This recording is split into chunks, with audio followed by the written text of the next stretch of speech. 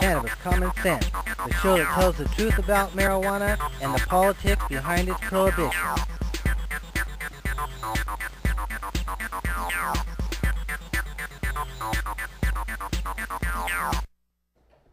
Hello and welcome to another exciting edition of Cannabis Common Sense. We have a great show for you tonight. Mr. Jim Dawson is standing by in the wings ready to play some music for us. We uh, have Mr. Casper Leitch right here ready to co-host the show. Right behind my shoulder and right there in the middle is Dan King. He's got a new drink, uh, the Cannabis Energy Drink. Cannabis Energy Drink. We're going to talk more about that. We have some other nifty things to talk about. A lot of new legislation and a number of stories in our hemp news segment tonight. So stay tuned as we bring on our infamous dancing cannabis leaves. I feel the force. Yeah.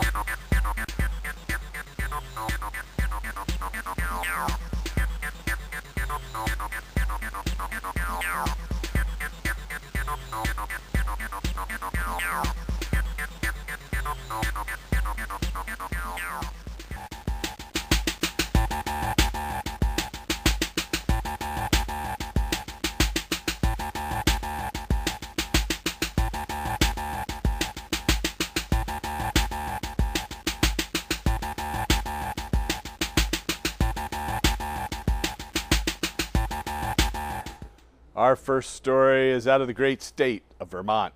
Legislation adopted this year to remove criminal penalties for marijuana possession will go into effect on Monday. Vermont's the 17th state in the nation to decriminalize or legalize marijuana possession. According to Matt Simpson, a legislative analyst for the Marijuana Policy Project, he said, quote, this is a much needed step forward toward a more sensible marijuana policy Nobody should be subjected to life altering criminal penalties simply for possessing a substance that is objectively less harmful than alcohol. End quote. The uh, bill, House Bill H200, introduced by new uh, Vermont legislator Representative Christopher Pearson of Burlington, Vermont, uh, who's with a tri- tripartisan group of 38 co sponsors, removes criminal penalties for possession of up to one ounce of marijuana and pl- replaces them with a civil fine similar to a traffic ticket. Those under the age of 21 will be required to undergo substance abuse screening. Vermont State Attorney General William Sorrell and Public Safety Commissioner Keith Flynn testified in support of the measure, which was signed into law by Vermont Governor Peter Shumlin on June 6th. According to uh, Simon, he said, quote, there's still work to be done and support's growing for a more comprehensive marijuana policy reform. Till marijuana is regulated and taxed similarly to alcohol, sales will remain uncontrolled and profits will benefit uh, illegal actors instead of legitimate tax-paying businesses, end quote. Our next story is out of Las Vegas, Nevada. Attendees at the 81st Annual United States Conference of Mayors voted this week in favor of a resolution urging the federal government to stop interfering in the affairs of states that have legalized the use of cannabis. The mayors from some 200 U.S. cities nationwide participated in this vote. The measure resolves, quote, states and localities should be able to choose uh, whatever, set whatever marijuana policies work best to improve the public safety and health of their communities, and calls for amending the Federal Controlled Substances Act to explicitly allow states to set their own marijuana policies without federal interference. It further calls on President Obama's administration to re examine the priorities of federal agencies to prevent the expenditure of resources on actions that undermine the duly enacted marijuana laws of the states. Mayors Bob Filner from San Diego, California, Mike McGinn of Seattle, Jean Quan of Oakland, California, Steve Hogan of Aurora, Colorado, Marilyn Strickland of Tacoma, Washington, Tom Bates from Berkeley, California, Stephen Cassidy of San Leandro, California, and Matthew Bingham of, uh, or Matthew Ryan of Binghamton, New York, submitted the resolution, which was approved unanimously by the U.S. Conference of Mayors. They had previously adopted a resolution at their 75th annual meeting declaring the war on drugs a failure and calling for a health centered reorientation of drug policy that provides cities, counties, and states the flexibility they need to find the most effective way to deal with drug control. From Honolulu, Hawaii, Democratic Governor Neil Abercrombie this week signed two separate measures into law to amend Hawaii's 13 year old medical marijuana program. Hawaii House Bill 668 transfers the administration of the state's medicinal cannabis program from the Department of Public Safety to the Department of Public Health. Senate Bill 642 increases the, the quantity of medical cannabis that may be possessed by patients from 3 ounces to 4 ounces. The measure also increases the total number of mature plants that may be legally grown by qualified patients at any one time from three to seven. Some 11,000 Hawaiians are registered in the state's medical marijuana program. The changes in law become effective in January 2015. Out of Concord, New Hampshire, members of the New Hampshire House and Senate on Wednesday gave final approval to a revised version of New Hampshire's House Bill 573, which establishes a regulated system of medical cannabis distribution in New Hampshire. The amended bill, which passed uh, by 284 to 66, creates four state sanctioned marijuana dispensing facilities to produce and distribute cannabis to state qualified patients who possess a physician's recommendation. Patients diagnosed with one of approximately 20 qualifying conditions, including cancer, hepatitis C, muscular dystrophy, Crohn's disease, multiple sclerosis, would be permitted to legally possess up to two ounces of cannabis. Under the proposed law, patients must obtain the cannabis only from a state licensed facility. Qualified patients will not be provided with any legal protections to possess or use cannabis prior to the establishment of such facilities. As originally passed by the New Hampshire House, the measure allowed qualified patients the option to grow their own cannabis measure also allowed physicians to recommend cannabis for the treatment of post-traumatic stress. Both provisions were stripped from the bill by the Senate at the request of Democratic Governor Maggie Hassan. New Hampshire Governor Hassan has publicly stated that she will sign the reconciled version of House Bill 573 into law. New Hampshire will become the 19th state to allow for the limited legal use of medical cannabis, along with, quite ironically, the District of Columbia, Washington, D.C. Our next story is from Harrisburg, Pennsylvania.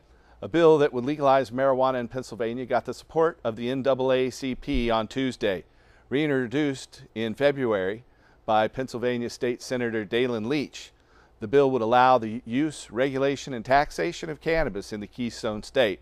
But as long as the Republicans control both houses of Pennsylvania's legislature, few expect the bill to pass or probably even get a hearing.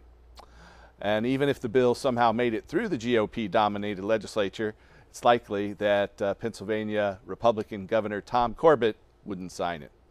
But the National Association for the Advancement of Colored People endorsed the measure, saying the war on drugs unfairly focuses on minorities with a staggeringly disproportionate arrest rate compared with white users. According to uh, David Scott, the chairman of the NAACP's Legal Redress Committee, he said, quote, the war on drugs is a catastrophic failure, end quote. Scott pointed to a report recently released by the ACLU, our American Civil Liberties Union, which clearly highlights the racial bias in the war on drugs. Senator Leach said he was thrilled to have the support of the NAACP. He called the legalization of marijuana in Pennsylvania inevitable. Senator Leach said, quote, this is decimating the minority community this is a problem that is particularly acute, end quote. The New Jersey Health Department last week reported that 1,000 patients are now registered in New Jersey's medical marijuana program. The New Jersey Department reported this fact without much fanfare, likely because so far only about 130 patients can actually buy cannabis due to a shortage of functional dispensaries and other delays created by foot dragging on the part of Republican Governor Chris Christie who was never that thrilled about medical marijuana to begin with. The access still just isn't there. Three and a half years after, former Governor Jon Corzine signed the medical marijuana bill into law. Many patients are upset, reports Jan Piffler from Philly.com. In New Jersey, only patients with serious illnesses qualifying for medical marijuana, but patients with terminal cancer, AIDS, epilepsy, MS, though they qualify and have been registered, are still waiting. One patient, a uh, former New Jersey corrections officer, has sued the state for the delays, saying he's suffering while the state wrangles over strict rules that have led so far to the opening of only one dispensary. That one sells only to New North New Jersey patients and has said it's overwhelmed by the demand. Our next story is out of Morgantown, West Virginia. THC or tetrahydrocannabinol possesses gastroprotective qualities and could potentially reduce incidences of NSAID or non-steroidal anti-inflammatory drugs, NSAID, induced hospitalization according to preclinical data published online in the European Journal of Pharmacology.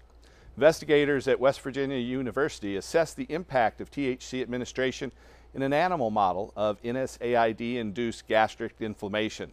They reported that low doses of THC provided gastroprotective effects, such as attenuating gastric hemorrhages and lesions and reducing ulcers. The researchers concluded, quote, the results of the present study suggest that delta-9 THC may also possess gastroprotective effects in NSAID using patients, as current antacid regimens may be associated with undesirable effects. Other approaches to prevent NSAID-induced gastric ulcers are needed. In addition to their gastroprotective effects, cannabinoids produce other beneficial effects, including pain reduction. Thus, cannabinoids uh, may have the added benefit of reducing the effective analgesic dose of NSAIDs as well as reducing the incidence of NSAID-induced gastric ulcers, end quote. NSAIDs, such as ibuprofen, are among the most widely used analgesic substances in the world but their consumption is associated with various adverse and life-threatening side effects, such as heart attack, stroke, and internal bleeding. According to a 2001 study conducted by the University of Illinois College of Medicine in the United States, gastrointestinal complications induced by non-steroidal anti-inflammatory drugs, or NSAIDs, cause more than 100,000 hospitalizations here in the United States each year and an estimated 16,500 deaths annually in the United States.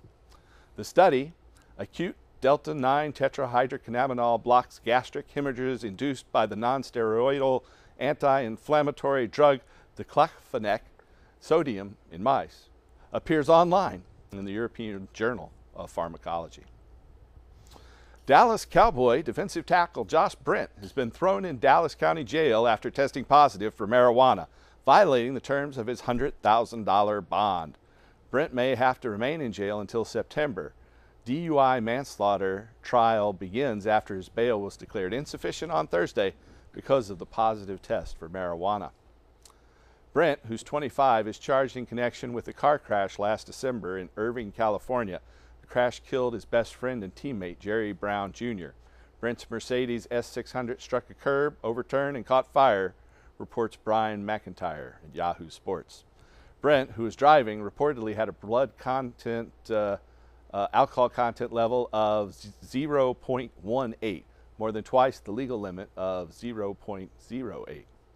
A July 19th hearing has already been scheduled to determine whether Brent's bail should be declared insufficient after a May urine test found marijuana in his system. The test was given on the same day State District Judge Robert Burns III had denied an earlier request by the prosecutors to revoke Brent's bail because they had alleged he'd been drinking alcohol, another violation of his bail terms. But after a June 19th urinalysis indicated the presence of marijuana in his system, the prosecutors filed a motion this week asking Judge Burns to declare Brent's bail insufficient before the July hearing. The prosecutors claim the level of cannabis found in Brent's system indicates a pattern of successive use. The court ordered Scram ankle bracelet Brent was wearing had also failed to log data on 22 occasions, prosecutors claim. According to the prosecutors, they said, quote, the defendant in this trial has been repeatedly warned of the conditions of pretrial release in this case, uh, and his continued use of marijuana demonstrates a pattern of conduct in disregard of the court's authority to properly supervise his pretrial release. Texas Judge Burns agreed, declaring Brent's bail insufficient for good cause, and he was rearrested. He'll likely have to remain in jail until his July 19th hearing, when Judge Burns will decide whether to hold him. And uh, we have one last story here tonight. Michael Hyde, the father of uh, the child medical marijuana patient Cashy Hyde, who died of a brain cancer tumor last year, has filed to run for mayor of Missoula, Montana. Hyde, who's 29, filed on Thursday, the last day to file for such city races in Missoula. He's continued working as a medicinal cannabis activist through fundraising efforts with the Cash Hyde Foundation since the death of his son. Hyde's taking on a popular incumbent, Mayor John Engen, who ran unopposed in 2009, is now seeking a third time in office. Hyde says, quote, yeah, I'm an underdog, but I love the story of the underdog, end quote.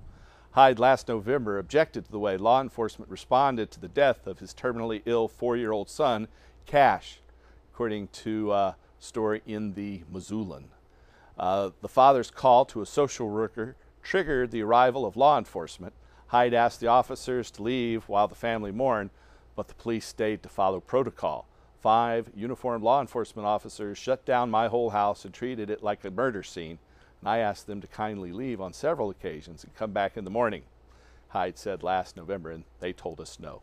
The family had chosen a course of treatment for Cash Hyde's brain cancer that involved a regimen of Rick Simpson oil, a highly concentrated form of hash oil used by many cancer patients to battle tumors. We're proud at THCF to say we were we helped Cash Hyde uh, obtain his medical marijuana permit in the state of Montana and in the state of Washington, as we've helped dozens of other young children fighting cancer, probably over 20 in the past two months.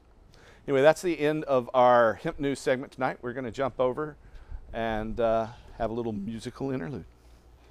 You ready, Jim? This is Jim Dawson. All right.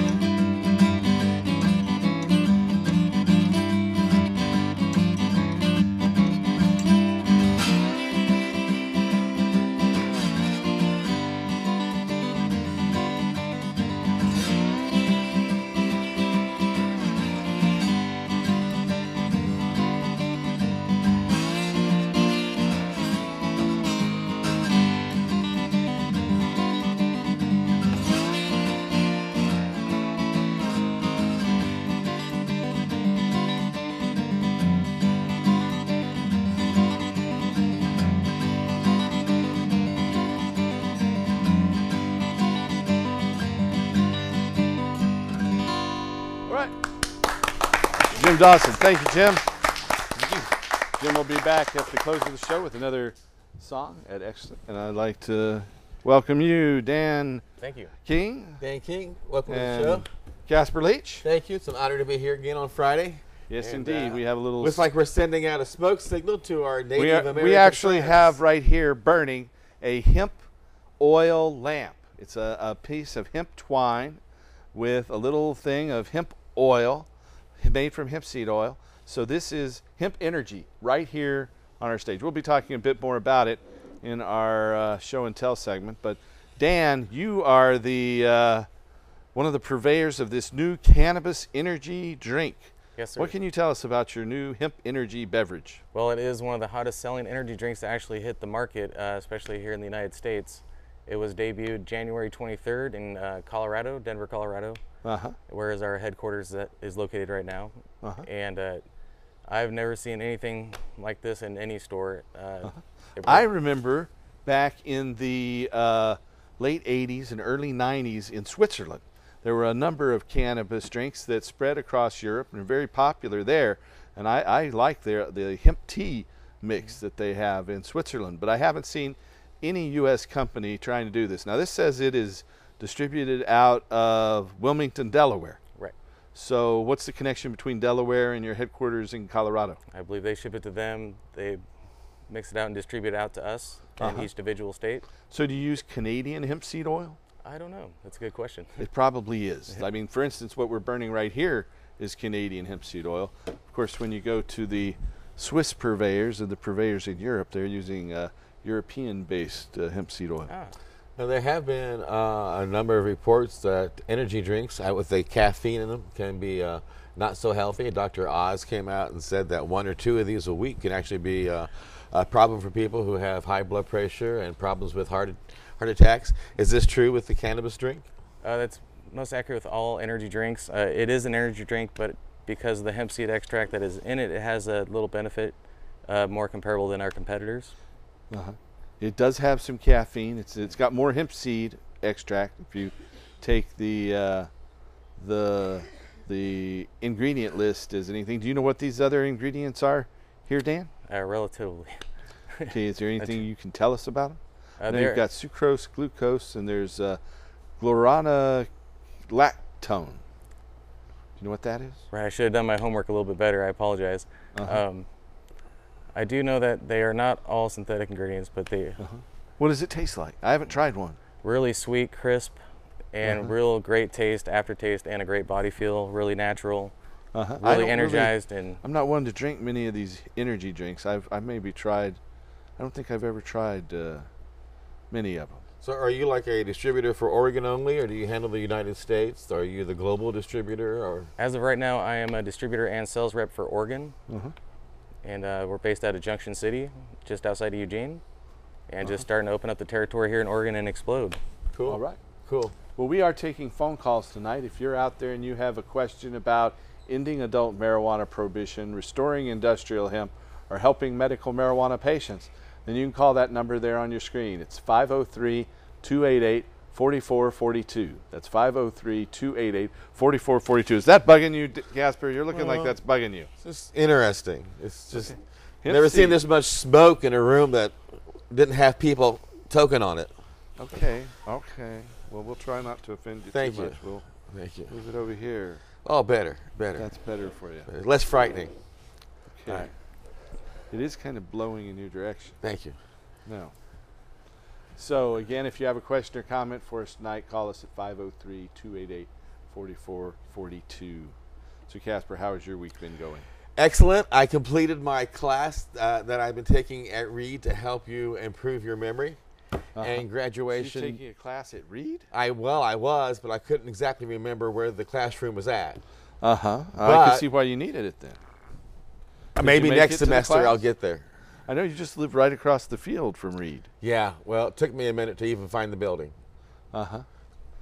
Okay. You give me very It's good. expensive. you give me good medication. It's expensive to go to Reed. it's a very expensive Steve Jobs school. went to Reed.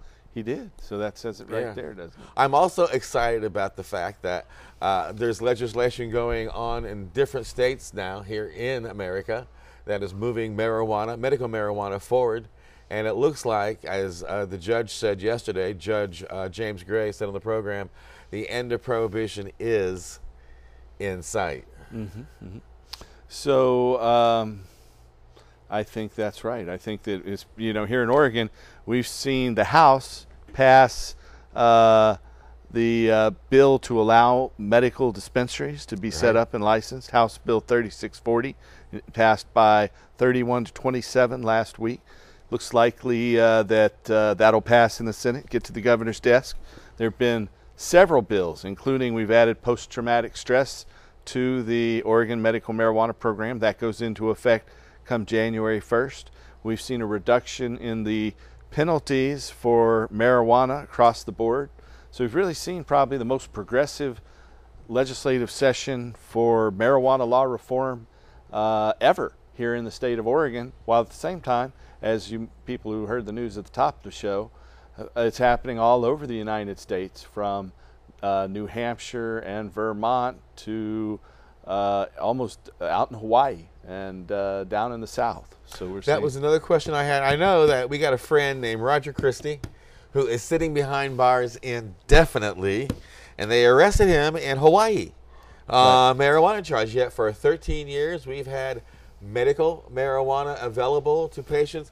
What? What? Here's a man preaching peace and using it as a sacrament, and being a very nonviolent, caring, loving man, even giving to the community, feeding the poor, giving clothes to the people who need- Performing marriages. exactly. uh, The day before he was arrested in July of 2010, he performed a marriage, and, uh, uh, And- now he's been held for over three years without bail. And And, they got- his trials is currently set in August. I mean, no, in October, and they just set it back from Again? July to October. Good lord! And, And they got medical continues- marijuana available. How how do they how does the state balance that It's out? all about money, power, and the continued centralization of economic and political control. You know, we are uh, uh, taking phone calls tonight, and we think we have our first caller. Welcome to the show, caller. Hey, how's it going tonight, boys? Very well. How are you? Very good, very good. I'm calling from uh, Vancouver area, British Columbia here. I got a good question for you here, gentlemen.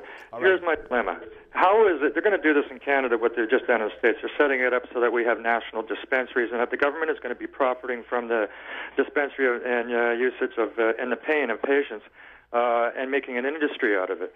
Uh, you know, it's just like the chemotherapy gig. But anyways, let's get down to the point. The point is, is that we, uh, how can we possibly believe that these guys are not going to be using chemicals and fertilizers and these types of things that are going to make it so that uh, you know we're not actually getting a healthy product?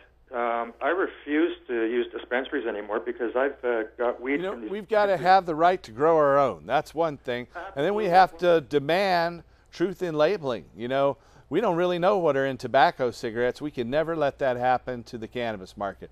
In our proposal, in fact, just today, we turned in 2,500 signatures in or the Salem, Oregon uh, Secretary of State's office on two different initiatives, 2,500 each, to legalize marijuana. One is a constitutional amendment that says anybody can possess, use, and grow marijuana, though the state can regulate the sale.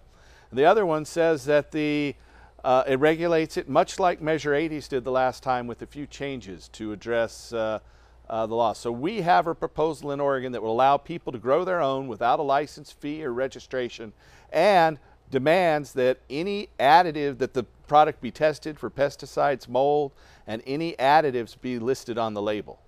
May I make a comment?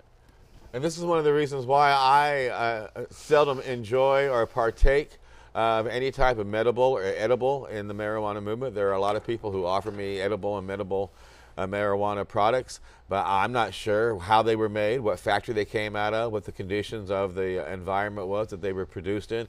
Now, an item like this I have no problem with because you can tell it was made in a an environment that was inspected and cared for, but there's a lot of chances that you could be facing, uh, as Paul said, you know, a surprise that you might not appreciate in your in what you're getting ready to digest. So, yeah, there's a lot of reasons why uh, this um, market needs to be regulated. I know a lot of people don't like that expression, but if we have a regulated market like we do with anything else that we uh, uh, promote, whether it be tomatoes, uh, you know, for ketchup or uh, shoestrings. Uh, there's always uh, some sort of standard that must be applied to that product so that the consumer makes the purchase, they know it's safe, and it is exactly what it says on the label.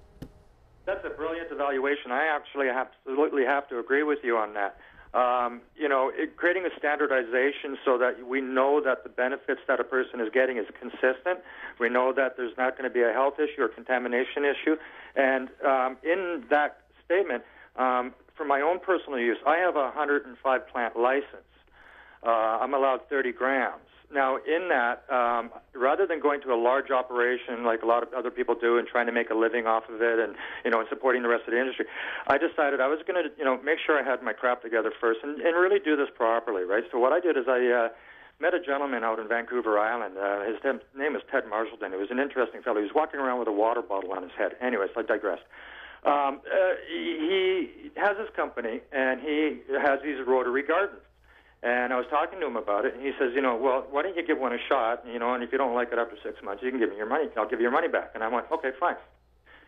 So I, I brought the thing home and I set up, but I took it a little step further. I actually made an insulated environment, um, and it's completely self-contained system, pure air going in, pure water going in, everything that you could possibly want. It, it, beyond scientific level as far, at this point. Uh, a lot of people are really quite amazed when they come in and look at this. But what I get out of it is, you know, really, really good medicinal quality uh, marijuana. What this does for me for pain application, I've got arthritis in my spine. Um, I'm, you know, was deteriorating. Now my life is coming back. I've got mobility again. I'm strong as an ox. I'm 46 years old, and I can keep up with the young guys again. I'm pretty impressed with the lividity of my life. Um, you know, and I and I got to thank this guy for it. He really, really helped me along to understand the processes and what I was doing wrong, what I was looking at, and uh, you know, now I've got the state-of-the-art system. You know, and uh, my overhead is you know nil. I'm using two bulbs. Uh, you know, uh, three and a half gallons of water, four gallons a week, and uh, it's it's amazing. No power usage. Uh, you know, I don't have to worry about people being able to you know uh, notice my equipment or system or you know figure out what it is I'm doing. It's totally self-contained. It looks like a closet. It's beautiful. Well, see, and one of the things, all that you mentioned is one of the reasons why places like Eli Lilly and Johnson and Johnson are not at all happy with the idea of having this plan available for people to utilize because, as you said, for a very small amount of money, you're able to produce your own medication to take care of your needs adequately. And that's the way it should be. That's the way we yeah. need to make it. We need to give power back to the people. Over well, the past hundred years, power has been seized by corporations, government, these artificial individuals. We need to return power to the people. And that's what we're trying to do through the initiative process in the state of Oregon that we're working on. Now, you can find out more about our work by going to that website there, crrh.org. Find out more about the regulatory model I was telling you about. You can go to cannabistaxact.org. That's cannabistaxact.org. It says specifically that all uh, that, that it has to be that the cannabis has to be tested and any adulterants or pesticides or mold or mildew has to be listed on the package along with the date of harvest and other information. Uh, then our amendment will allow us to, to grow our own. Uh, What's Casper? I got one more thing too. And on Tuesdays we have Canadian Day on radio show Time for Hemp on AmericanFreedomRadio.com. Uh, check it check it out. We have a lot of people that you might be interested in listening to who talk about the very same issues that you brought to the table this evening. So it's on AmericanFreedomRadio.com, 10 to 11 a.m. Pacific Standard. And every Tuesday, we have Kelly Christie from KDK Distributors. We have a lot of people on like Jody Emery and Marco Renda and uh, people from uh, the LEAP organizations up there in Canada. So do make it a point to tune in. Excellent, excellent. And I'd just like to say thank you very much to Ted Marshallton at OmegaGarden.com the gentleman really saved my life. He put me on track. He got me straight, and uh, I'm getting healthier. I'm, I'm taking care of my own medicine now. I've got control. It, it's you know, and I think somebody should actually take this system and put it into a standardization because I think a lot of people could benefit from this. It's amazing. But thank right. you very much. Well, thank God you, sir. everybody. Thanks for calling. Thank you. Have a good one up there in beautiful British Columbia, one of my favorite places. You know, we've got a film clip we're going to run in just a minute, but I'd just like to talk one more moment about this. Uh, this little item here. This is hemp seed oil. This is the oil from the marijuana seed, and it is burning and creating energy. This is the reason marijuana is illegal. The, the whole reason is because we don't have to burn petroleum for, for fuel. We can burn hemp seed oil, and hemp seed oil it can be the most productive source of biodiesel on earth.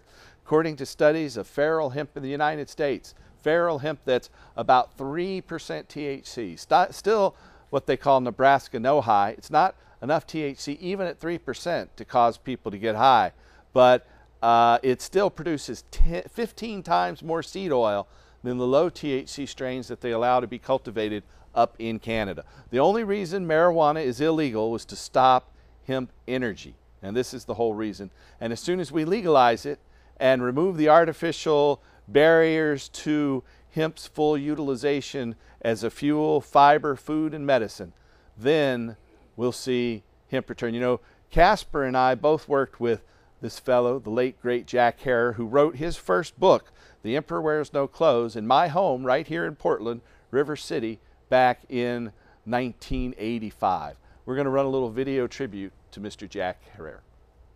Stay tuned.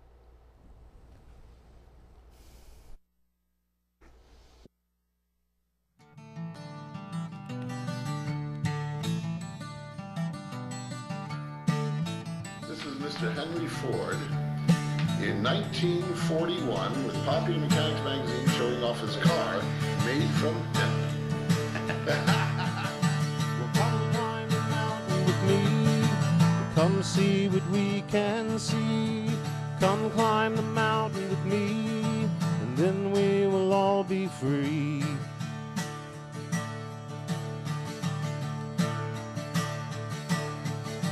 Some men are born to lead, some men have destiny. but Some men plant the seed, and some men set it free. Here we had 92,000 cars a day, thousands of people parking behind the FBI building, and uh, they arrested us and they said, "You have to, you cannot do this." I said, "Well, I'm not going to pay you a fine and go on uh, probation." So I did 15 days in prison rather than give them a five dollar fine. Wow, You that's, know, we had that's to- kind of that's kind of like telling Jesus, Jesus you can't practice on Sunday. It was a fine line.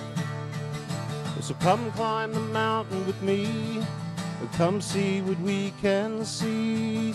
Come climb the mountain with me, and then we will all be free.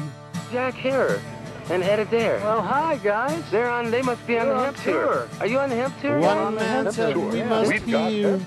One man's voice was clear. One man heard the call.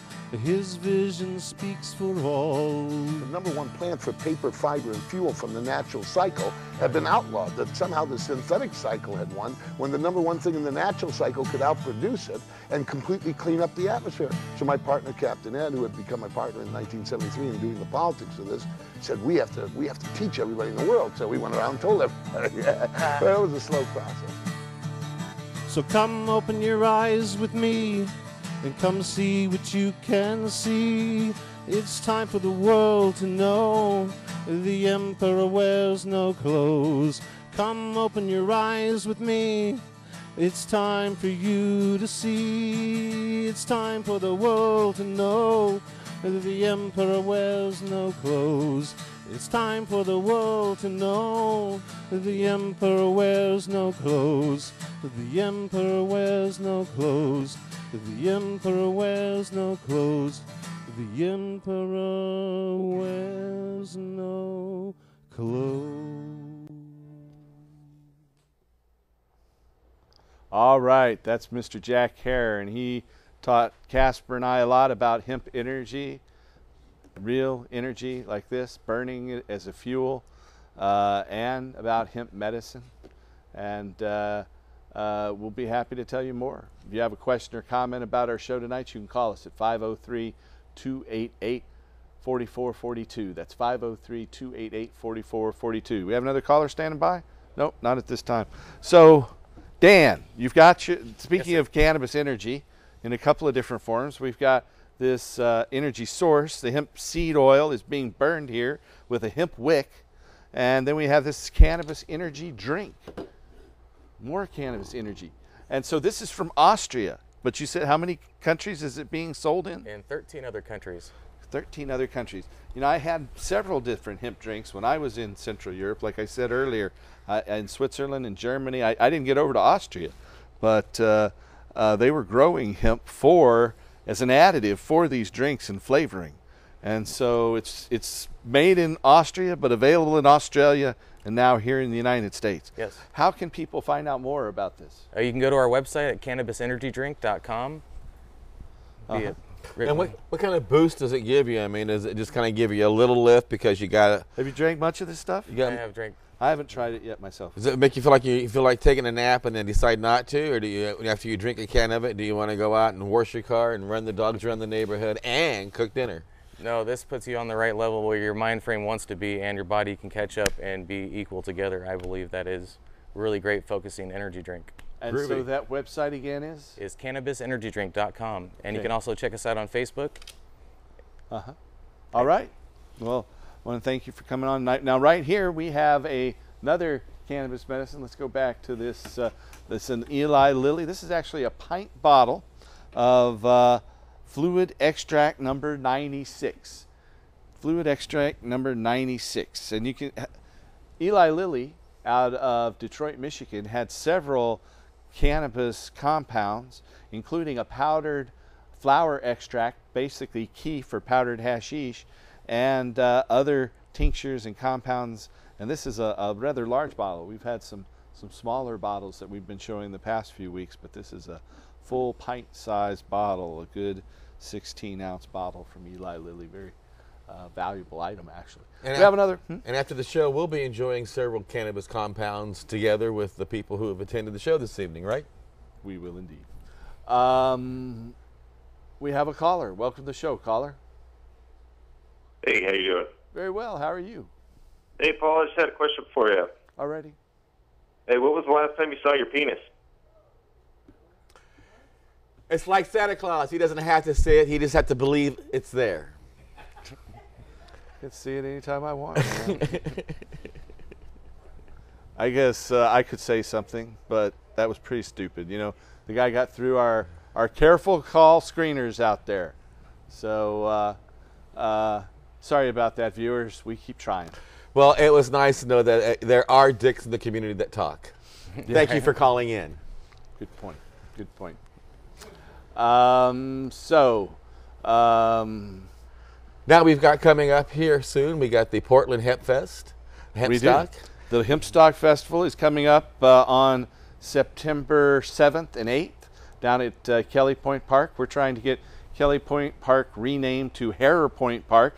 And in fact, this Sunday on June 30th, we're going to have a volunteer potluck at Kelly Point Park, right at the picnic area, right at the point, at the convergence of the uh, Columbia and Willamette River, the two largest rivers in the West. If you're interested in getting involved as a volunteer for our Hempstock Festival, come down to Kelly Point Park this Sunday at noon. We'll be there from noon till oh about 4:20, 4:30, and uh, you're welcome to get involved. Also, our organization THCF are proud to announce that we are again the presenting sponsor of the, the world's largest marijuana festival, the Seattle Hemp Fest. Nice. So we're going to have our name right across the top of the poster again. I think this is about the seventh year in a row that uh, we are going to be the presenting sponsor. You know, I kind of thought with marijuana being legal now in Washington, some other company would come up there and uh, you know offer them a lot more money, and they thought that they were going to, but apparently the bidders all backed out,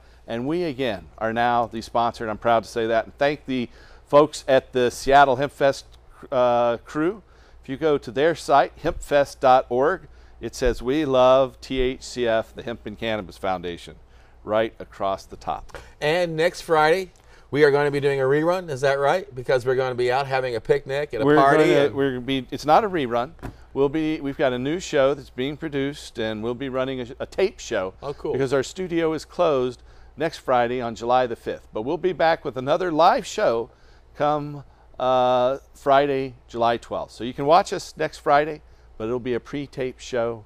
Uh, won't be live in the studio. So we'll My be- weekend will be full. I found an old copy of the Constitution, and on the back there seems to be a treasure map that I can follow and check it out. So Good who luck. knows? It's kind of like that nat, those those movies out there. Uh, anyway, we have another caller. Welcome to the show, caller. Yes, hello. Hello.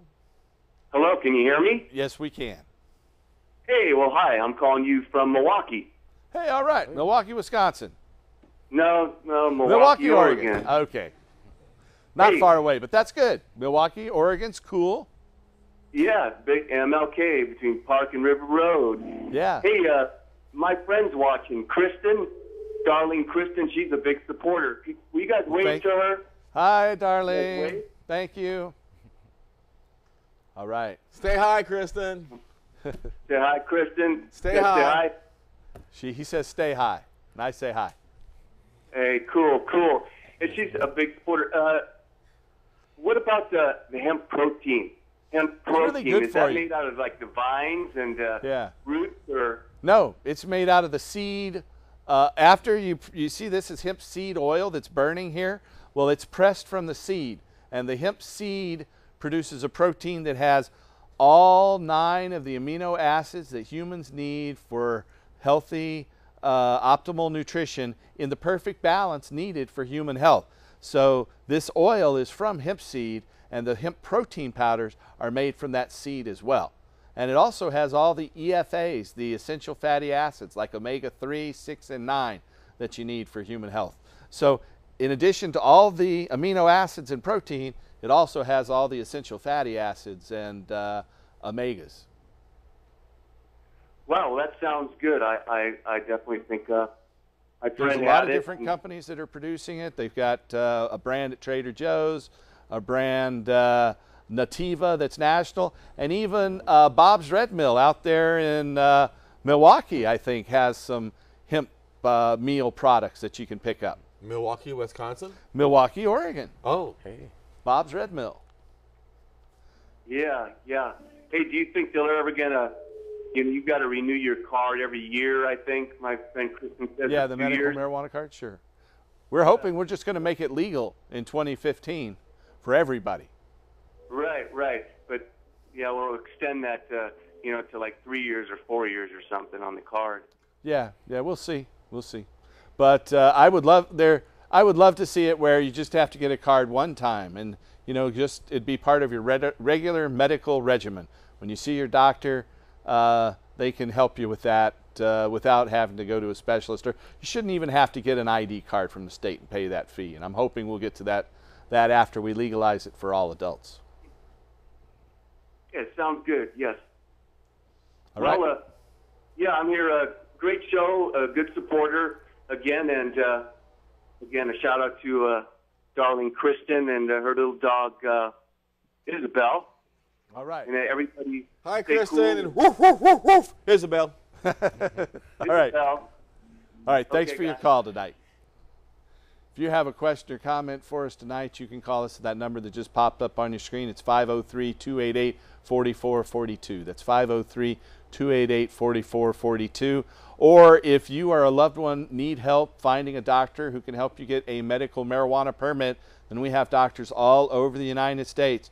From out in the eastern United States, uh, 11 cities across the state of Michigan, where we are reopening here next month then uh, out to Hawaii and, and many points in between.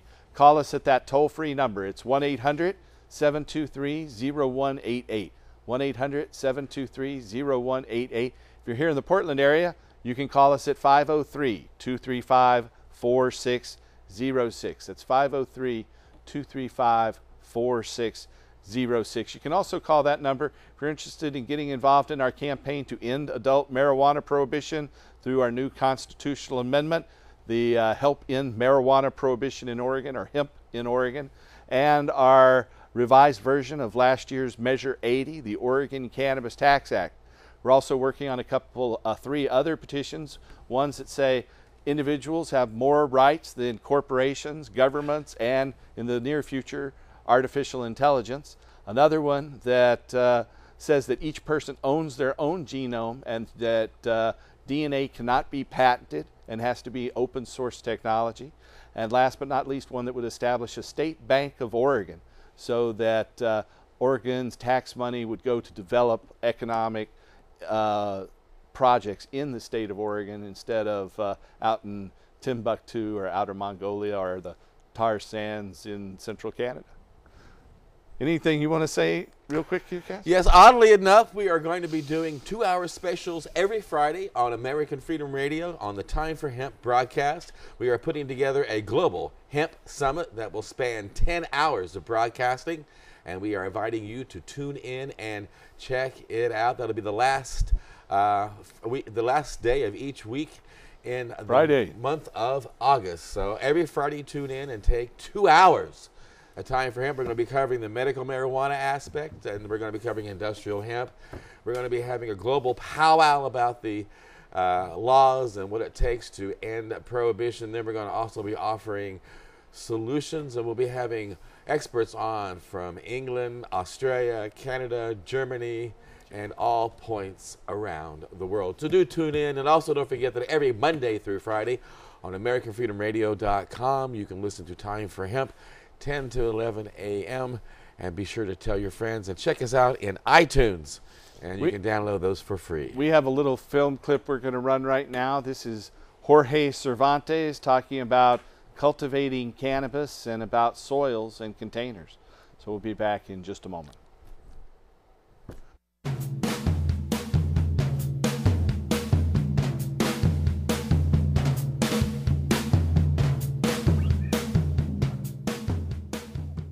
Growing in inexpensive, readily available containers allows each plant to be cared for individually, including the water and nutrient regimen.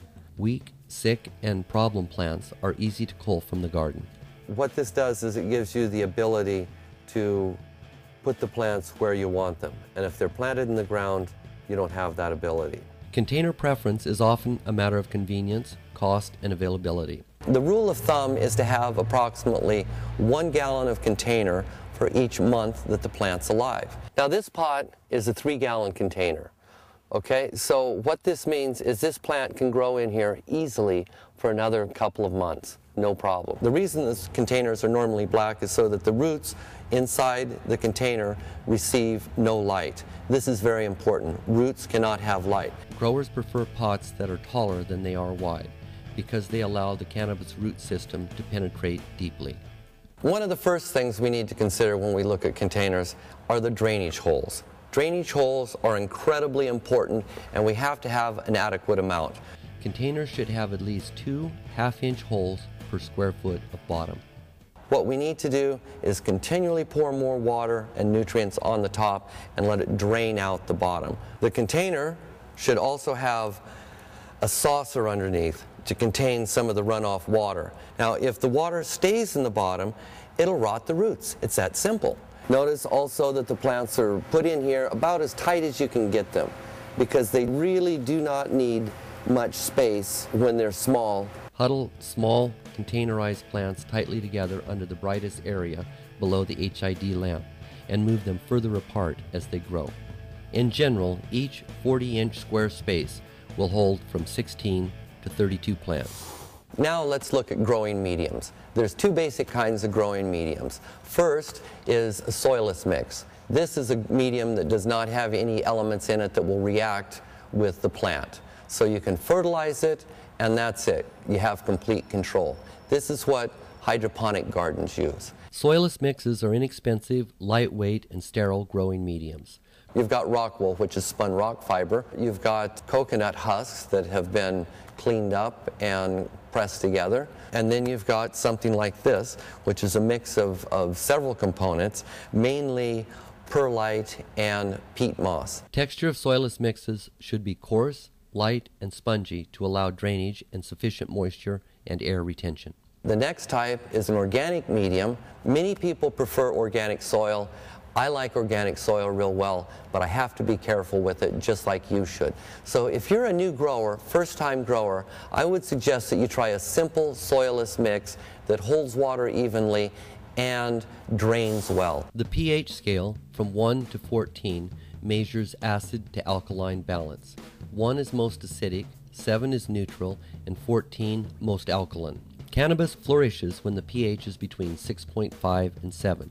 Hydroponic solutions perform best in a slightly lower pH range, from 5.8 to 6.8.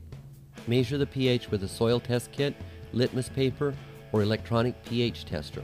Accurate measurement and control is essential to a strong, healthy garden. Okay, we'd like to thank uh, Portland's own Jorge Cervantes. You can see his book out there, Marijuana Horticulture. I learned a lot from it when it first came out in the mid 1980s. And uh, he has a website out there. It's marijuanagrowing.com. He's there to answer your questions, lots of videos. Check out marijuanagrowing.com. As much as you promote him, you should have him on the show as a guest. We have had him on the show as a guest. Well, It's been a Jorge, while. come on back. We'd like to see you. He went and moved to Spain for a while. You moved to but, uh, Spain? he's he's back in, in California. Well, but I've he's never originally been from to here in the Spain. Portland area. In fact, he used to have a uh, uh, horticulture store out at 100th and Southeast Foster, but he closed it uh, when the federal government started Operation Green Merchant back in 1989, I believe it was. Cool. Anyway, uh, we are just about out of time. I want to remind our viewers out there that uh, uh, you can help us end marijuana prohibition. We're hard at work on that and expanding natural individual rights. You can go to our web portal at hemp.org. That's H E M P dot O R G. And we will not be doing a live show next week on the 5th of July, but we will have a tape show. Be happy to watch, and we'll be back with another live show on July 12th. And you can come down to our studio audience here at uh, 2766 Northeast Martin Luther King Jr. Boulevard uh, and, uh, and be part of the studio audience next July 12th or any Friday thereafter. Again, right here, hemp energy. That's the whole reason that marijuana was made illegal. And uh, we are fighting hard to make hemp energy again a viable option. And you've got this cannabis energy drink. Yes, sir. You can. What's the website of that again, Dan? CannabisEnergyDrink.com. All right. Thank you for coming on, Dan. Thank you for having Dan me, guys. King with CannabisEnergyDrink.com. Thank you, Casper, with TimeForHemp.com. Absolutely. You can check us out at hemp.org. And here's Mr. Jim Dawson. I want to thank you folks for watching. We're going to go out another great tune by Fancy Picking of Jim Dawson. And check us out at hemp.org and help us restore hemp. Huh!